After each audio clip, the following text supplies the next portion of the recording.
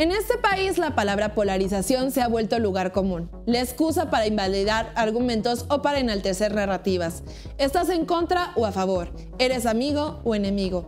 Tras esto hemos ocultado la búsqueda de la verdad, el debate y la argumentación. Las redes sociales han sido aliadas importantes en esto. En la política del clickbait se piensa más en cómo enganchar peleas y adeptos a llegar a un debate serio. La inmediatez no impide una argumentación seria, pero prioriza la interacción corta y visceral. No conozco a nadie que no haya pecado de este mal. Algunos lo abrazan, otros intentan tomar conciencia sobre esto y llevarlo a una reflexión personal de cómo evitar llegar a este mal. Marcelo Ebrard abusó de una niña, escribió en una nota un periodista. El abuso era el uso de una foto de una menor con el libro del canciller entre las manos. Podemos decir que usar la imagen de los niños para fines políticos es cuestionable. Sin embargo, el uso de la palabra abuso apela a otros contextos. En México, cada día hay más de 1.640 denuncias de delitos de violencia sexual. Usar la palabra abuso para golpetear políticamente o generar un like banaliza este concepto que enuncia la violencia en la que 5.4 millones de niños, niñas y adolescentes son víctimas al año. De igual forma pasa con la palabra fascista, utilizada a la menor provocación cuando algo parece autoritario frente a criterios individuales que no necesariamente